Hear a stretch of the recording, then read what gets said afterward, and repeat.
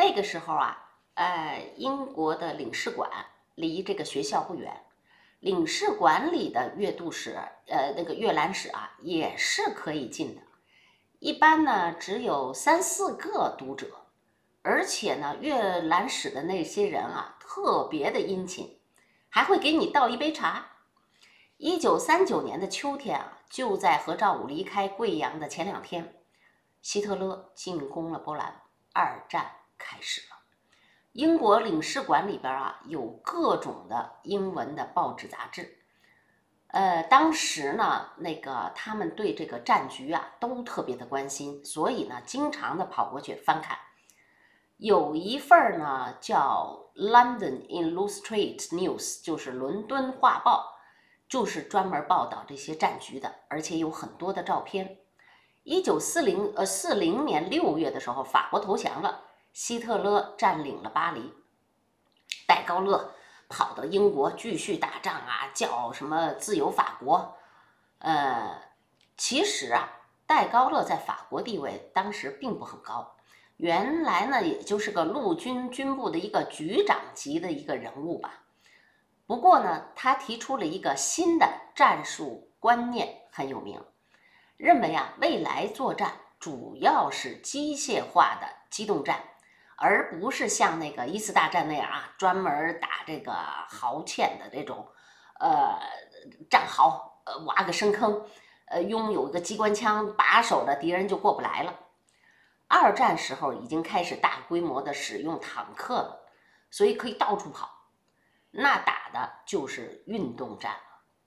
德国呀打败法国以后有一个海狮计划，当时呢是准备过海去打英国的。先开始就是大规模的轰炸呀，每天几千架飞机连续轰炸了三个月。那时候伦敦的居民啊，就经常都住在这个地铁室、地铁里边了。这些呢，都在这个《伦敦画报》上都有报道，又有照片，又有图画。当时英国啊，大概只有八百架战斗机，数量上呢，远远的少于德国。可在当时啊，那是最先进的，比如有那个喷火式的，呃，Spitfire，另外呢，有一种就叫飓风式的，性能都是非常优越的。而且英国啊，还有一种秘密武器，那就是雷达，在这个大不列颠这个空中战役中，真的起了非常大的作用。所以啊，德国终于没有能够渡过海境。这些呢，都是何兆武从那个领事馆的阅览室里边看到的。一方面呢，是增加了他的时事知识；另外呢，也是不自觉的啊，就吸收了很多很多这个现代报刊应用的那些英文词。另外啊，在联大的时候啊，呃，何兆武还订了一份《新华日报》，那是唯一的一个共产党报纸。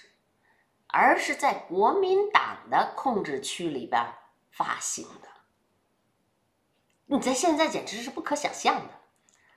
在这个昆明啊，找的呢都是那个十三四岁的那种小孩送报纸，可是后来呢就给三青团给砸了，以后呢这个报纸就收着了。当时啊也有其他的同学订，呃，何兆武呢，嗯，不知道具体的数字啊。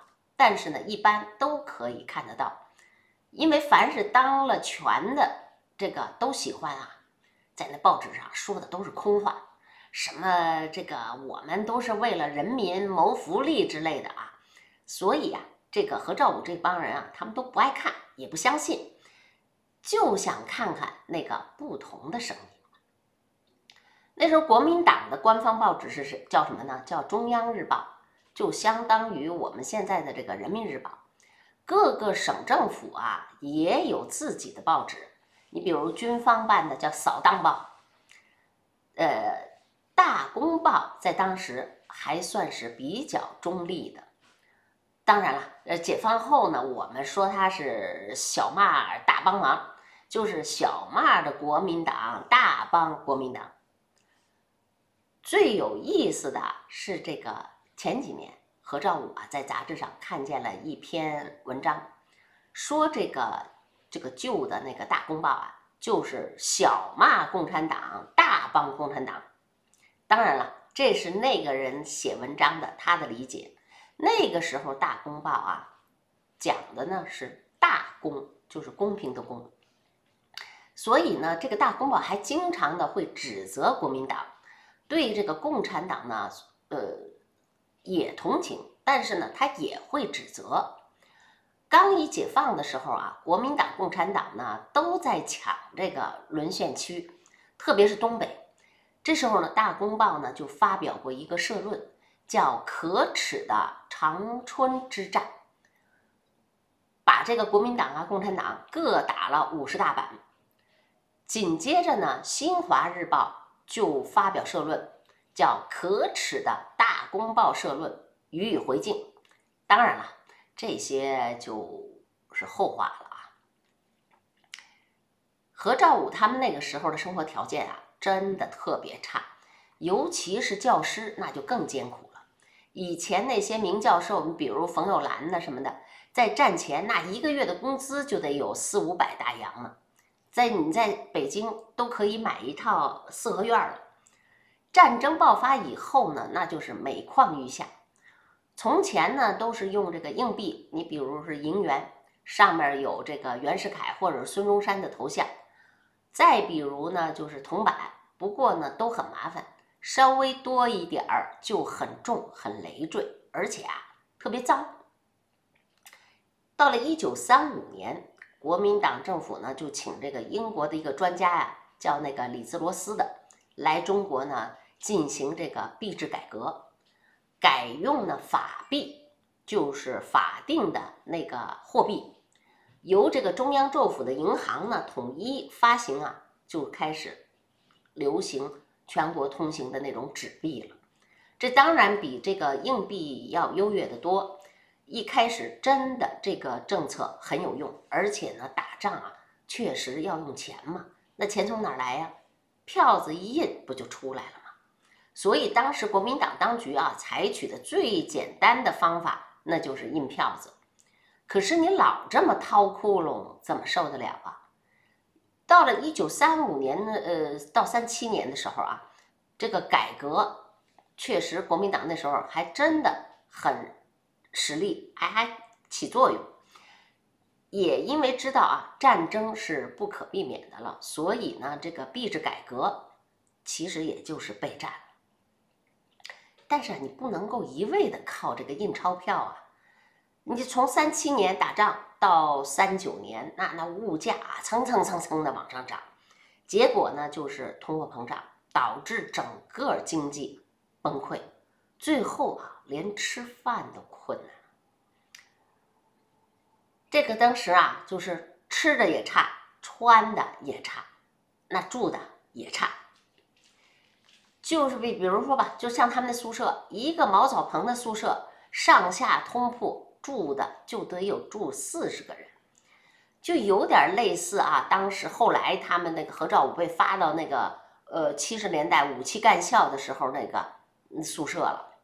那个干校的，打仗的时候吧，你生活不安定，有的人呢休学，有个别有点钱的呢，就在外边啊自己租个小房子，还有的呢，根本的就是在外边啊开始打零工工作，比如说吧，有的人呢就在外县啊教书，到考试的时候呢才回来，所以啊，这个宿舍里边啊经常的住不满，可是呢。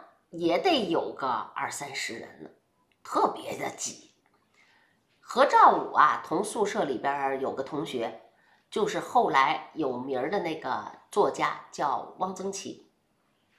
他呢跟何兆武啊同年呃同级，年纪呢也都差不多，大概也就都十八九岁吧，嗯，也都是个小青年儿。可那时候啊，他那头发留的可长了。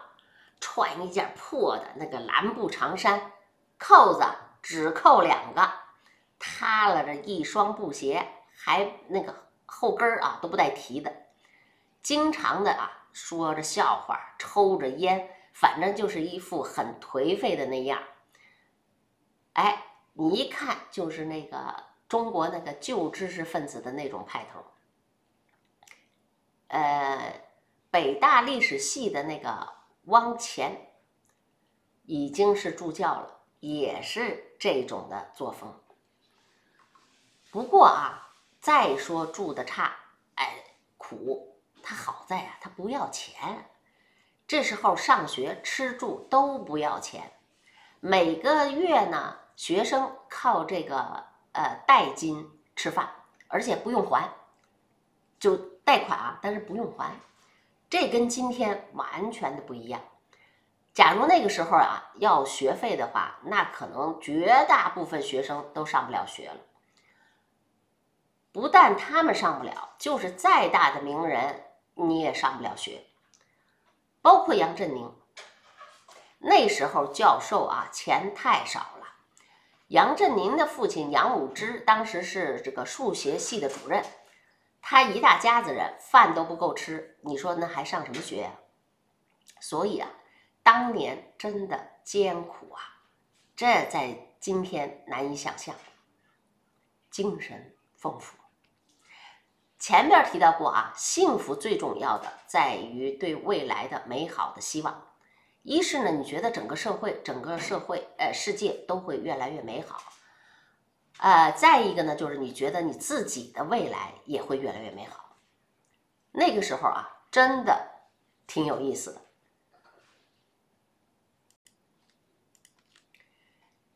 日本飞机天天来轰炸，生活又那么艰苦。可是啊，每一个人的士气都没有受到影响，也没有那种失败主义的那种情绪啊，呃，波动着，总是大家都很乐观，天真的呢，也认为战争一定会胜利，而且呢，胜利以后那就是一个美好的世界，一个民主的、和平的、自由的世界，这就是当时他们那个时代所有的青年人的。幸福所在了，就是有希望。西南联大的学生啊，绝大多数都是背井离乡的，寒暑假也回不了家呀，所以一年四季都在校园里边。而且啊，因为穷嘛，吃喝玩乐的事儿也没什么可能，只好就是那的就是学习。休息的时候，那也就是在草地上晒晒太阳，聊聊天儿。昆明那个大西门那门外边不是有一条叫什么街啊？那街上啊有几十个茶馆，大家没事儿呢，也就是到茶馆里边喝碗茶。其实喝什么真的无所谓，因为很便宜，大概也就是相当于现在的一毛钱吧。呃，无非就是茶叶兑了点开水。有的人啊是真拿本书就在那儿用功。但是大部分人都是跑那儿去聊天的，海阔天空，说什么的都有，就跟人家那个欧洲那个咖啡馆似的。记得有一次啊，那个何兆武就看见他们物理系，呃，有两个才子，那个是比他们高一个班的啊，呃，一个叫杨振宁，一个叫黄坤的，就在那儿在那儿高谈阔论。他们呢之间啊，其实是没有什么来往的。可是呢，他们这俩人是全校有名的学生，谁都认识他，谁都知道。当时那黄坤呢就说：“爱因斯坦啊，最近又发表了一篇文章，你看了没有？”杨振宁说：“我看了。”黄坤说：“你觉得怎么样啊？”杨振宁把手一摆，一副很不屑的样子。毫无创新，老糊涂了吧？他这可真的是何兆武亲耳亲耳听到的，而且啊，印象特别的深。当时他还想着：“哎呦，年纪轻轻的怎么能这么狂妄啊？居然敢骂当代物理学界的大宗师，还骂的一钱不值，用的这么大不敬的语气，这也太出格了啊！”不过，真的，你现在再一想，年轻人真的需要这种气魄，你才能够超越前人。正好就像拿这个世界冠军一样嘛，你下运动场的时候，你一定要想到，就是我一定能超过他，我一定能打赢他。如果你自己一上来先泄了气了，哎呀，不行不行不行，哎呀，我怎么可能打遍这个冠军呢？那你想，这科学一代一代发展，它怎么往前进呢？一定是后胜于前，是不是？这个道理其实很简单的。所以啊，每个人依赖的这个基础。也不同了，时代也不同了。后代之所以比前面的高明，就是因为我们站在了前面这些人的肩膀上了。这个牛顿说的，对吧？牛顿花了前半生的功夫得出的他的这个引力定律和运动定律，可是呢，你今天的中学生听老师讲一堂课，马上不就明白了吗？但是人家是用了。半生啊！可是呢，不可能就因为这个你嘲笑牛顿吧？任何的学术都是应该的，而且必然会后胜于前。尤其是对于那些有才华的人，他的眼界肯定是要比前人更高。如果只是跟在老师的屁股后边，那就是没出息。你再比如这个。他的一个好朋友叫王浩的，他那个王浩啊也是学数学的，后来啊成了世界级的权威了。可是这个王浩啊，呃，他对这个哲学是极为有兴趣的。何兆武啊跟他聊天的时候啊，呃，王浩还算是很谦逊的了，总说哎不懂不懂不懂。可是有时候啊聊着聊着，他无意之中就会流露出那种。非常狂妄的话，比如有一次吧，俩人就聊到了某某哲学家。当时呢，何兆武就说：“哎，这位哲学家好像在某个方面或者某个问题啊，没怎么说太清楚。”结果这王浩就突然来一句说：“哲学总有讲不通的地方，他也就只能这么讲了。”那意思就是说什么呀？这位哲学家没那水平，他只能讲到这儿为止了。结果把一个大哲学家啊，直接就说的好像是挺不值钱的。何兆武觉得这个真的是一个年轻人必备的品质，就是你要想超越前人，你必须要先看出前人的不足。嗯。在昆明的时候啊，他们经常的会去看看电影因为那时候啊，呃，票价也不贵，一个月呢，怎么着啊也能看上个两三回吧。昆明那七年啊，何兆武大概看了总共大概有二百多场电影。当时呢，有一家南平电影院是新建的，设备呢也很新，影片呢也都是最新的。记得呀，当时是每次电影前。呃，放电影之前一定要先放一段国歌，三民主义，吾党所宗，以建民国，以进大同。然后大家起立，屏幕上呢也是要这个放这个国父孙中山，呃，这个国家主席林森，呃，蒋委员长，反正就把他们的像也放出来。接下来才是让你看正式的电影。电影那时候啊，也分好几种，一种呢就是纪录片，比如说隆美尔啊跟那个蒙哥马利在北非的沙漠之战，再比如说呃这个四五年的二月的这个雅尔塔会议，片子都是马上就可以公映了。那次啊，让他们觉得非常惊讶的就是那个罗斯福的衰老了。那年啊，罗斯福其实已经才六十二岁。对一个政治家来说啊，其实应该是一个正当年的时候。可是啊，你在那个影片上一看，妈哟，衰老的不得了了呀！怎么跟九十多岁似的呀？跟之前啊判若两人。果然，就是在看了那个片子以后没几天，这罗斯福呢就脑溢血死了。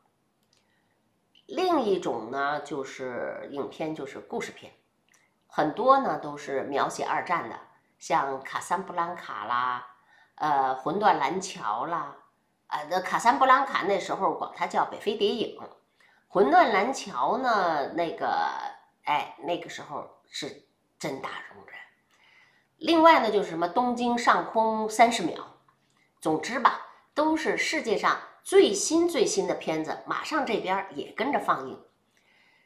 一九四九年底的时候，日本不是偷袭珍珠港吗？第二年春天，美国就把这个东京给炸了。电影里演的就是那次轰炸。还有一部电影呢，讲那个二战海战的。哦，后来啊，这个呃，看那个电影了以后啊，何兆武才知道，哦，感情那些潜水艇的人是要时常的。在这个日光灯下去照的，要补充一些紫外线啊。所以有时候你看电影啊，也能学到很多知识的。另外一种呢，就是文艺片了，比如说像这个《简爱》呀，《乱世佳人》呐，呃，还有这些音乐片啊什么的，《翠笛春晓》呃，斯特劳斯的。哎，就是那个《翠笛春晓》，合照，我看了三遍。有的同学啊，居然看了五六遍，其里边有好几个歌啊，大家都会唱。嗯，另外还有一个片子叫《葡萄春满》，讲的呢是舒伯特的一生。嗯，反正啊，这个那个时候好片子特别多。里根演的那电影，何兆武都看了有好几部。当时那里根啊，其实就是一个二流演员。用京剧的这个行话来讲呢，就是一个挂二牌的。嗯，当时有一个英国的一个著名演员叫呃弗林的，这个人呢演了好多好多的战争武打片儿，其中呢有一部就叫《绝望的旅程》，里根呢在里边呢给他当配角。据说啊。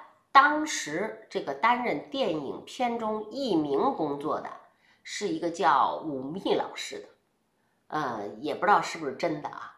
呃，比如说那个“清河薄暮，魂归蓝天”这两个词儿啊，都是来自《红楼梦》。哎，所以啊，觉得这个传言啊，还可能靠点谱，因为这个特别像那个吴先生的风格。附带说一下，就是当时的电影啊没配音，有的同学呀就是为了去学英文，跑到那儿去看电影。这个何兆武呢，他不当时是学历史的嘛，可是他也从这个电影里啊，呃，认识了一些具体的呃生活情况。你比如说奥利维尔，呃，还有这个呃。特拉法加什么海战啊，什么这些的啊，什么绝代艳后这些的，总之这些文娱生活丰富了他们不少的知识。从一九三九年到一九四四年呢，对何兆武来说是最困难的几年。抗战前呢，在北京做中学生的时候啊，学校里边一天你还能吃三顿饭，一个月呢也就才花五块多钱，质量还相当不错。而且啊，还让你敞开了吃，它不限量。三八年的时候呢，在长沙上学的时候呢，也是五块多钱，呃，至少呢还都是细粮。可是到三九年就不行了，物价飞涨，学校里边吃饭啊，虽然说不要钱，可是啊，真的特别差，有点像那个后来啊三年自然灾害的时候那种吃不饱的光景。人的胃口啊，毕竟有限，这粮食地量就意味着要限制你的口粮了。西南联大的时候呢，虽然啊他没给你定量，可是呢大家呀，呃都过去抢，不一会儿就没了。你就是越这样越紧张就越强，所以中国人从骨子里啊，我觉得从血液里边就有一个强强强强强。一直到了一九四二年，呃，何兆武呢开始到外边去找一些兼职了。这样呢，他的生活还稍微的好了一点。到了四三年啊，他开始读研究生了以后，他就在中学里边找了一个兼职老师，每月工资呢已经可以挣到数千块钱了，大概相当于现在的七八百块吧。总之呢，他每顿饭呢都可以自己花钱啊，在中学里边买一点，总算能能呢吃饱了。好在他是一个人呢，他不用养家糊口，所以生活上还算过得去。昆明那时候啊，中学有好几十个呢，缺老师，所以啊，这些教师几乎都让这个西南联大的学生给包办了。有的那个学生啊，迫于生计，平时啊还跑到外县去兼课去，到了考试才回来。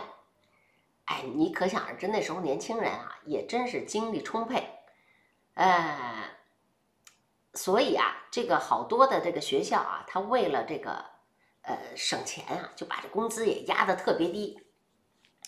加上啊，这西南联大的学生的水平。确实要比当地你招来的那些人呐，水平要高很多，所以啊，学生学校里边也愿意用这些学生去当老师。呃，记得呀，他有一个同学就在中学里边教地理，这种课啊，一般大家都不太重视，可是他教的特别的好，还编了好多好多的顺口溜。你一问他班上的初中的那些小学生啊。哎，巴拉圭的首都在哪儿啊？哎呦，你何兆武说这种小国家真的有时候我们都这些都不不知道在哪儿呢。可是那些小孩儿啊，全都哇啦哇啦的能给你背出来。何兆武现在肯定是背不了了，他只记得呀，有一个学生跟他说：“啊，阿比西尼亚。”就是咱们现在翻译成的埃塞俄比亚，埃塞俄比亚首都在哪儿啊？这小学生马上就说了：亚的斯亚贝巴，厉害吧？何兆武他们做研究生的时候啊，几乎没有人不出去兼职做去中学的教师的，只有这个工学院的那帮学生例外，因为什么呢？他们可以下工厂。修公路、修铁路啊，什么修汽车这些的，哎，人家有技术。除此以外呢，何兆武一想啊，大多数同学都在兼课，包括那个鼎鼎大名的杨振宁。当时杨振宁啊，在这个联大附中里边教师，呃，教书。杨振宁的爱人呢，杜志礼，就是他那个班上的学生。哎，后来这个出国了。王浩呢，接手到那里边去教。当时啊，你不光是学生兼职跑到中学去教，连那个西南联大的老师也跑到中学里边去兼职去。何兆武在好几个中学都教过书，比如说什么求实中学、五华中学、龙渊中学。呃，什么，反正就是教国文、教英文，呃，历史、地理，反正他啊，能自己觉得能胜任的。反正在他这个三年的研究生这个期间，他就没间断过。在五华中学的时候呢，他是教中文。那时候啊，朱自清也在那里边教一个班，而这个何兆武呢，教另外一个班。当然，那个人家朱自清的威望可比何兆武大得多了嘛。哎，本来啊，就就是这个名教授、文学家，呃，肯定要比他高明的多嘛。可是啊，何兆武啊，并不觉得有多泄气。闻一多先生呢，也在昆明的中学里边去教书。学校当局知道啊，文先生那是有名的诗人啊，所以啊。给他的那工资特别的高，还专门给他了一间房子。你现在看来你都不觉得怎么样，可是，在当时啊，当时那种环境条件，那简直是给的这个优惠待遇太了不起了。就想啊，那个时候真的特别的注重教育。在恋爱婚姻的题这个问题上啊，这个老一辈的和他们当时的那帮年轻人那是有很大的不同的。五四的那一帮人，一方面是维新的，你比如说钱玄同，他的名字呢就是以古玄同之意，就是对古代根本就是怀疑的。可另一方面呢，他们的旧学根底特别深，其中也包括了那些旧的思想。所以啊，这一帮子老一辈的这个婚姻，大多数都是家庭包办的。后来的呢，那肯定就是讲究婚姻自由、个性解放了，对这个包办的婚姻不满意嘛。所以这帮人很多后来都另外再找了别人。其中啊，最典型的那就是胡适了。胡适的家就是这个婚姻就是家庭包办的。虽然后来呢，也另外外边有了人了，哎，但是呢，他不愿意伤他母亲的心，就始终呢还保持着和这个呃江冬秀这个包办婚姻的这个婚姻状况，这就是中国旧的伦理传统。你比如这个郭沫若、鲁迅都是这样，就是在外边啊，我又有了新的婚姻了，哎，我原来包办的夫人呢还在。哎，也算是一个家庭成员。这好像一妻多夫，后来是解放以后才解除的，在这之前都是允许的。啊，一一夫多妻，一夫多妻。到了这个何兆武他们这一代啊，学校里边本来是没有什么规定的，就是你学生是可以结婚的。不过事实上啊，不可能结婚。